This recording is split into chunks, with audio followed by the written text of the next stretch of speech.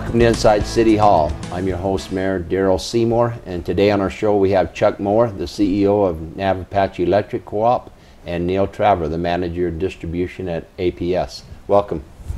Chuck. Good morning. Neil. Thank you, Mayor. For Thanks for being with us this morning. I just want to preface here, uh, today we're kind of talking a little bit about Prop 127. We've also asked the representatives who have sponsored this bill, uh, we've extended an invitation for them to show, and they chose at this time not to be part. So uh, welcome, and we appreciate you being here. You know, it's, fall's in the air. It is. It is. You know, you guys uh, this morning, you know, didn't come with coats or muffins or anything, but we've been talking a little bit about the apples and the blossoms that, you know, last February or April that we thought froze. They didn't, obviously. We'll probably have a bunker year of uh, fruit and everything. So, tell me a little bit about what brings you guys here today and how things are going with APS and NEC. You know, we appreciate what you guys do in our communities. Why don't we start? Just share a little bit about what you do that most people maybe not see other than provide electricity? What are some of the other community uh, things that you provide? Oh, for Navopache, we uh, do a lot of different things. We sponsor a lot of the local events. Uh, Run to the Pines this weekend. As a matter of fact, we're one of the sponsors. The Balloon Festival that's coming up in a couple of weeks, we're sponsoring that. Um, we're a sponsor, a sponsor on the uh, uh, recyclable waste that we had a couple of weeks ago. We, you know, so we, we do a lot of things in the community, try to help out uh, help out the community, help out the members, and and what can, what can we do to give back? Because uh, Navopache is a nonprofit.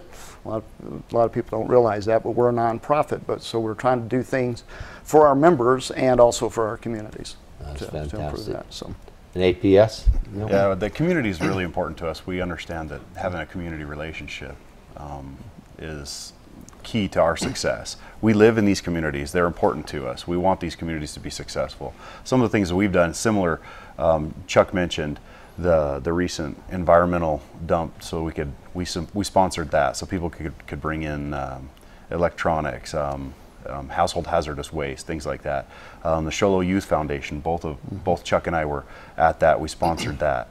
Um, recently, we've had a big project going to take the, the Deuce of Clubs um, electric utilities underground. So that it's a beautification project that we've been working directly with the city on. We've been supporting that and, and trying to help support that that project. So there's a lot of different things that we've got going on. Recently, um, the fire the fire department and the police department had a had a baseball game, the Guns and Hoses baseball game. APS donated to that so that they could raise funds for for the fire department and the police departments, and it's a lot of fun. We enjoy those types of things. It's, it's significantly important to us. Like I said, we live in these communities. They're important to us, and we understand that the community thrives based on our success as well. Oh, that's fantastic. You know, we just want to say thank you for the partnerships we have with you as a city and and also for the benefit that it does give our community. And I know that's what we see right here in Show Low, but you guys are you know, all over your area, you're all over the state and the things that we have. Let's just talk a little bit about your customer base and how many customers each of you kind of have, and then we'll talk a little bit more about this initiative. Okay, at uh, at NEC, we're we cover kind of the um, um, about 10,000 square miles here in eastern Arizona and over into western New Mexico, and and we serve um, approximately almost 42,000 meters in, in that that area.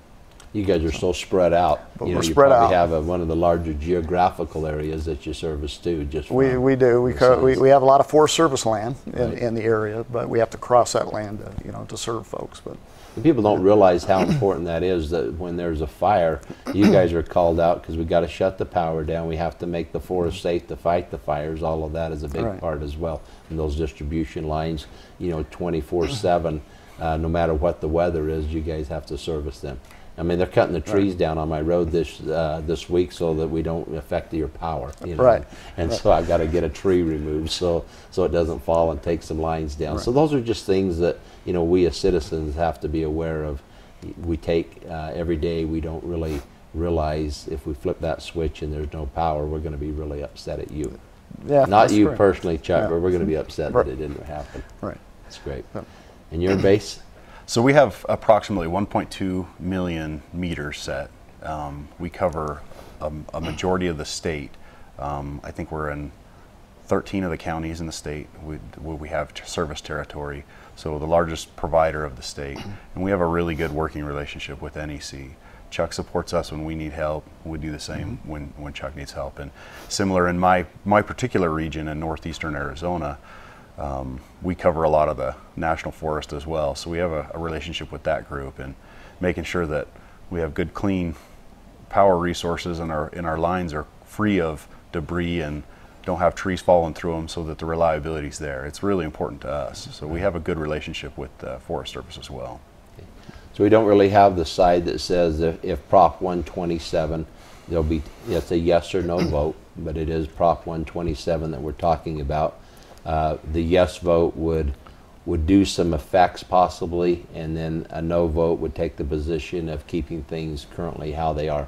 Neil, do you want to just kind of explain that whole proposition a little bit uh, of what it's set up, what they're trying to achieve, and, and, and possibly what are some of the uh, effects of it so that we kind of understand the impact it could have on our communities. Yeah, absolutely. So a yes vote on Prop 127 would make a constitutional mandate. It would amend the Constitution to have a constitutional mandate to get 50% energy from renewable sources by 2030. So we've got about 12 years to comply. And the, the I guess the interesting thing there is how renewables are defined. So in how they define renewables is they exclude certain clean energy produ- producing, pro- producing generation. For example, Palo Verde, which is a carbon-free pro- production. It's the largest energy producer in the, in the United States. It produces 70% of Arizona's clean energy. Um, would be excluded. They specifically wrote out nuclear from that. So it would have those mandates to require those. There's a step of how much would have to be um, distributed energy, what we call distributed energy, or in other words, rooftop solar. So they have specific mandates and what they call RECs, or um, renewable energy credits, that we have to meet. Basically, it all comes down to how much generation we're, we're creating from what they consider to be renewable sources. So they exclude fossil, they exclude um, a couple of interesting ones. Uh, trees in excess of 12 inches in diameter, which would not be considered renewable, which is to me a strange thing. But there's some there's some things in there. Nuclear, which is a very clean fuel, is excluded. The the bill itself is called Clean Energy for a Healthy Arizona, and when you say clean energy for a healthy Arizona, you would think that all clean forms of energy would be allowed to be utilized in this proposition, but that's not the case. I see. Okay. What impact would that possibly have uh, on some of our, our local power plants here that, that we're looking are, are coal fired and, and some of those? What what impact, if this were to pass, would, would that have? So right now, you know, a lot of people understand the, that Cholla has a finite life, the Cholla power plant, which is right here in Navajo County. Um, the Cholla power plant would likely have to shut down earlier than it's anticipated. The Four Corners power plant up in Farmington, New Mexico, um, would have to shut down early 2020s to mid 2020s if this was to pass. And then, then and then um, TEP um, has a power plant over in uh, near Springerville that it would likely cause impacts to the to the future viability of that plant as well. Okay. Kind of explain what TEP is. TEP is Tucson Electric Power. Right. They're another regulated utility um, that, that would be impacted by this bill. And so that's something that, that I didn't mention. The way that this, this proposition's been proposed is it only impacts regulated utilities, or in other words, utilities that have to work with the Arizona Corporation Commission to get its rates approved. So there's utilities in this state um, that would not be impacted by this particular proposition. Okay. So we're taking the ones that are already regulated and saying, uh, you know, we don't want them uh, or, or impact them the most uh, versus you guys are already working uh, to try to keep rates as, as low as possible for us. That's Okay. correct. Chuck, uh, you want to weigh in on some of these things? Yeah, I would like to just kind of add add to what, what Neil is saying. It the we're regulated the co-ops in the state just just like APS are regulated by the ACC. Um, so anything that we do to recover those costs, we have to go through the AC to, ACC to recover that. This mandate doesn't allow us to do that. It, it, it's a mandate, if this passes, that we have to spend the money. It doesn't matter what the costs are, we still got to spend it to, to meet this, this mandate. Um, the, uh, some of the other concerns with that is, is what we've looked at from, from the co-op standpoint is the, the amount of infrastructure that we would have to put in and the, the stranded assets that we would have to lose, the, the power plants that would have to shut down. It'll impact us. We, we estimate for our residential consumer about 45 to 65 dollars a month. Um, and, and so we think that's a little ridiculous, a little, little, uh, little too, too much for our folks to absorb, especially in the rural communities, because in Navajo and Apache counties, we, we have um, the poverty level is, is greater than some of the other areas in the state. And so we think we're going to be hit a lot harder in, in our areas than we may, may some, some of the other states or some of the areas in the state, such as uh, down at Phoenix, you know, inside the city limits. Um, and, and so we, we don't want that to happen because we've worked real hard to try to keep our rates down over the years. And, and since we're a nonprofit, we keep that down and we pass those, those savings on to, to our consumers. This is going to just do the opposite of what we've been trying to do. It's going to increase that. And another thing that maybe a lot of people aren't aware of, the, the Arizona Corporation Commission is working on a, a docket. They have a docket filed and open right now to actually eventually go to 80% clean energy by 2050. And the way that is, it, it's taken into account all clean energy. It's not just looking at renewables.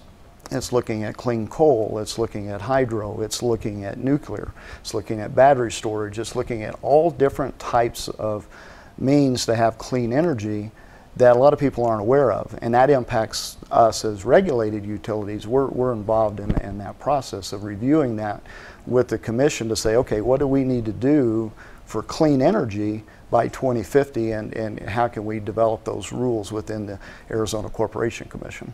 Okay. So ultimately, uh, passing this would ultimately cause a, or potentially, I guess we don't, aren't with certain, but would potentially impact our, our rates that we currently pay.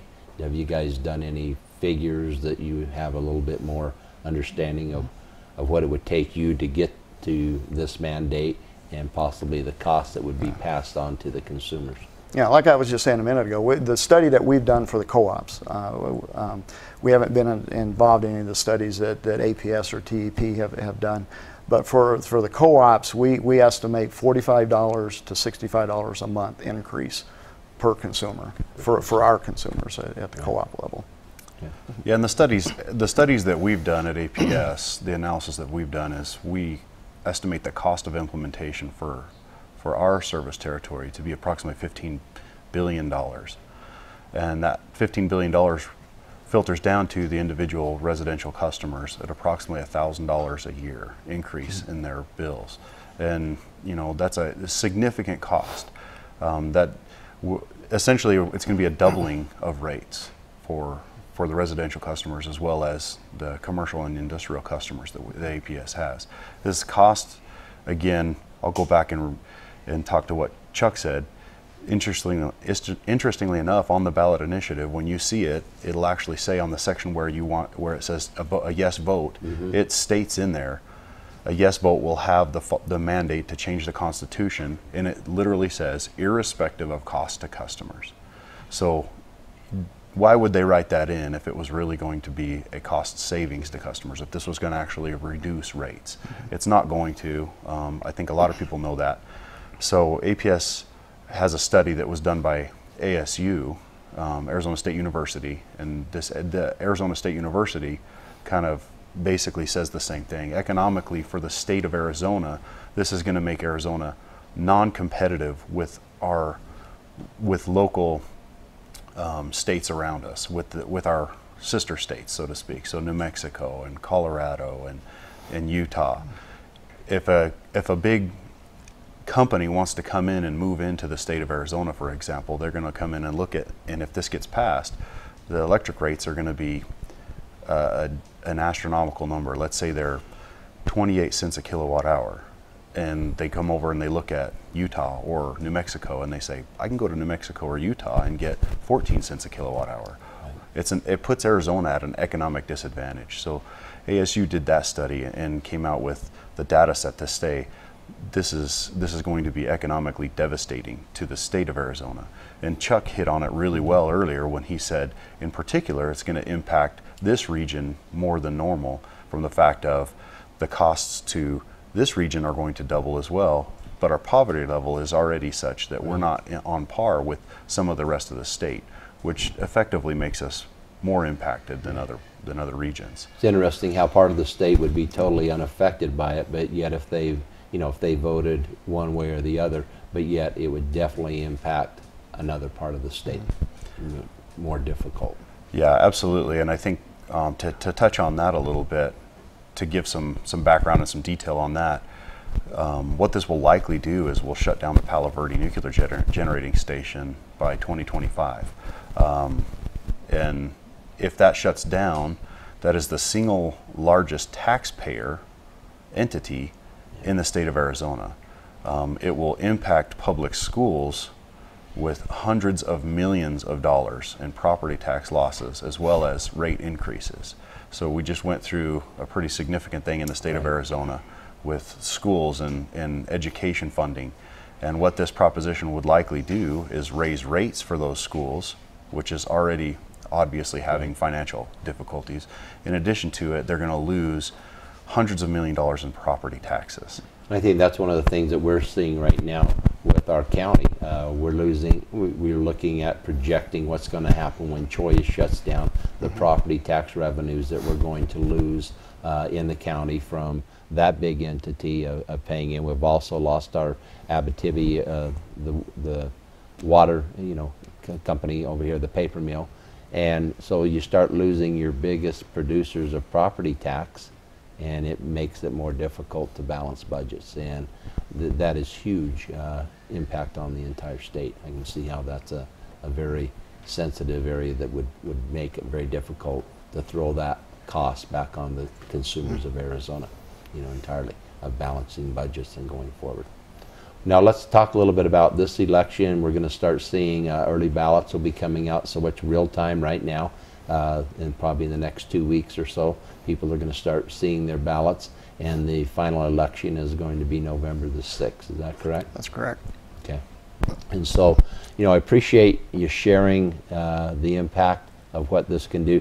A lot of times, people, when they say initiatives here, they always talk about jobs, okay? And is this going to, would this create more jobs? Would it take away from jobs? Naturally, if Palo Verde shut down, there's a lot of jobs that would be lost.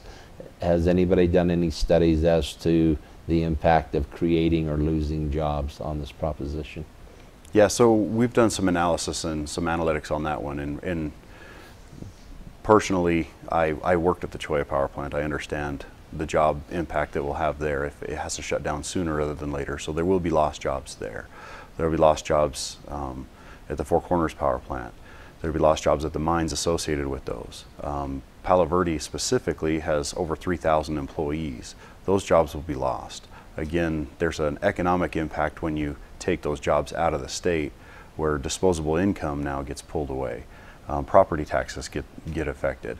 So yeah, there will be a significant loss of jobs. Um, again, I think another, another one that I would, would go back to, to to tell the story a little bit of what this is going to do is RUCO, which is the Residential Utility um, Consumer Office, which is the group that comes in when, when we file a rate case or when Navopache files a rate case. RUCO will come in and do analytics and analysis to say whether or not the rates are in fact fair to the residential customers. And RUCO has done their own analysis and, and come out and stated almost what we've, what we've been stating here is that in fact, rates will be going up. This isn't something that's going to be reducing rates. And I think um, the proposition, uh, al- although a lot of people think that it, it's admirable, so to speak, saying, hey, we're going to go renewable, renewable itself may not be the right answer if it's going to ec- economically be hurtful to the state of Arizona. You know, clean energy is a good way to go and, and the right way to go. And, and I think a, a good way to think of it is if the renewable energy portfolio was economically viable, we'd be doing it right now. We'd, Right. be, we'd be pursuing that right now. Um, and I want people to understand again, this is clean energy for a healthy Arizona. And when you say clean energy, um, then then why is everything written to renewables and why does it exclude Palo Verde when Palo Verde is already clean? Why would why would they want to shut that plant down? So something very similar, I shouldn't say very similar. This exact proposition or law is on the books in California. And California's rates are three times the national average. And just recently, Canyon Diablo, which is their last nuclear generating station, just announced as a result of these these types of mandates that it's going to be shutting down in 2025. So, you know, I'll talk to people about this and they'll say, well, we, we really don't want to shut nuclear down. It's not really going to shut nuclear down. Well, it really is because California no longer has nuclear and their last, their last nuclear plant just recently announced that it's going to have to shut down because of what these renewable mandates are doing. And, Cal- and reality of it is nuclear is a very cost effective way to create energy and a very clean way to create energy. That's great. Chuck? Yeah, just to kind of add on to what Neil is saying, this this is similar to, to what California has. And I think if you look at California's rates, I think they're like 47% above what Arizona's rates are. So this would have the same impact that, that California is having. It's going to raise the rates. Um, the, the other issue is that people don't understand this model that's in California, which they're trying to, to bring it into Arizona, the reliability of the system, the electrical system, uh, has went down. And uh, the utilities over there have to do rolling brownouts. So in other words, they have to take outages during parts of the day on their system because they don't have the generation uh, to be able to support the load uh, that, that people are consuming. And so they're having to do uh, brownouts or roll, rolling brownouts.